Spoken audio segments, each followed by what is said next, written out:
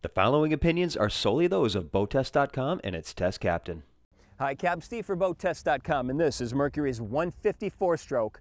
She's one of the lightest engines in class, and because of her great power to weight ratio and 3 liter displacement, she makes a great trade up for those coming from a two stroke hull.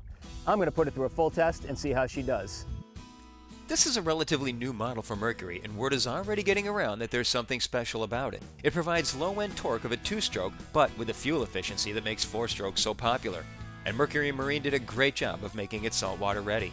While still offering more parts than a two-stroke, this 150 four-stroke has a remarkable 18% fewer parts than its chief rival. And it has a 3-star carb rating on 87 octane fuel for ultra-low engine emissions. Let's take a look at some of its features on the stand. This 150 horsepower four stroke engine is offered with a shaft length of either 20 or 25 inches and weighs in at 455 pounds. It can be controlled by a tiller, but standard steering is provided by a mechanical cable. Most will opt for the conventional hydraulic option. In twin applications, the Mercury Power Steering is offered. It has a multi-port electronic fuel injection system feeding her four inline 8-valve cylinders and single overhead cam. It has a through-prop exhaust system and is designed to run on 87 octane fuel with up to 10% ethanol. Mercury adds a snorkeling system to the one-piece cowling so in the event of a following sea or just washing down the engine, water does not make its way into the engine. Any water that does get into the cowling is routed out a lower drain. Mercury went with a single latch system for easy removal of the cowl. This engine incorporates a low maintenance design with a schedule always in clear view, there's even a QR code to scan with your smartphone for accessing instructional videos on flushing, oil change procedure, changing gear case lubricants, and simple troubleshooting tips. And below is the engine mounted trim switch and a flush out port to connect a garden hose to. Continuing down the left hand side, there are large water intakes, and a heavy duty gear case means a bigger 4.9 inch bullet incorporated into this hydrodynamic housing. Many things make this 150 four stroke saltwater ready, such as the Merc Fusion paint system, aluminum silicon alloys, stainless steel components, integrated bonding straps. The easier to see components are, of course, the sacrificial anodes located here and here. Moving around to the front, Mercury went with a single stage power trim assembly which saves cost and weight.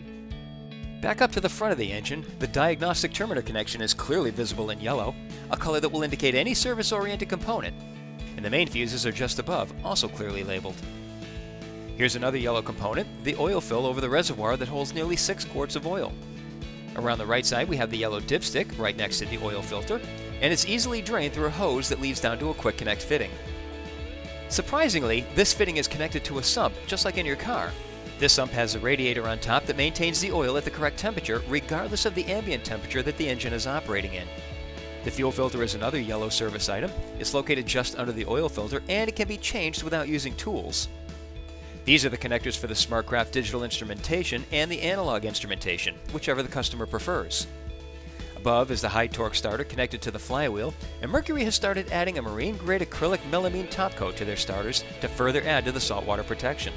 Here's the single throttle body that leads into the scrolled intake manifold, which then leads to the stainless steel fuel rails feeding the injectors. And everyone thinks these fins are to add harmonic sound to the 150, but no, they're simply to allow the cowl to go back in place easier by lining up with these guides on the inside of the cowling. Here's a better shot of the fuel rails leading to the four injectors as part of the multi-point fuel injection system. It joins the air coming in from the intake and then feeds into the combustion chamber. And here's something interesting. Notice how all of the stainless steel bolts have shoulders on them, eliminating the need for washers.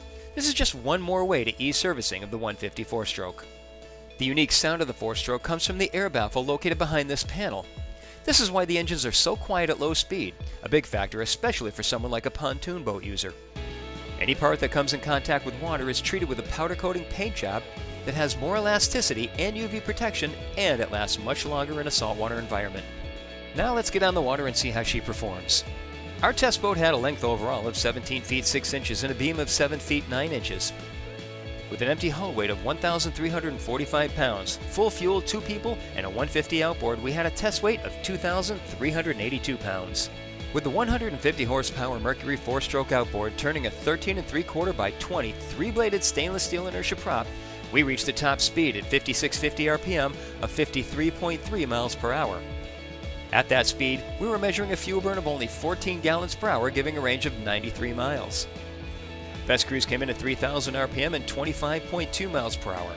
That reduced the fuel burn to a mere 3.2 gallons per hour, which we could keep up for 7 hours and 36 minutes and increasing the range to 191 miles. Most impressive was the 150 four strokes acceleration, which plays well into the water sports crossover. We reached planing speed in only 2.9 seconds, accelerated to 20 miles per hour in 5.3 seconds, passed 30 miles per hour within 7.2 seconds, and continued accelerating through 40 miles per hour in 9.3 seconds. Taking a look at handling, adding power to the 150 four stroke only caused the bow to come up 8.5 degrees upon acceleration, and we settled into a 3 degree bow high cruise attitude. SeaStar hydraulic steering is offered as an option, and it really made a difference with effortless handling. I noticed no torque effect during acceleration, and certainly not during any of the straight runs at wide open throttle. Even with this light boat, the engine's 450 pound gross weight was barely noticeable. The 150 also provided impressive mid range acceleration. From our 30 mile per hour cruise seen here, throwing the throttle forward quickly had us outpacing the camera boat. Maneuverability comes from its 120 degree turn radius, and at the end of the day, the single stage trim assembly will trim the 150 completely out of the water in 13.5 seconds.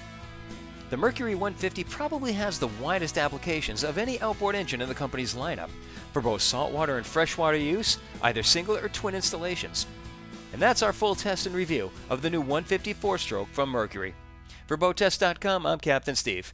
We'll see you on the water.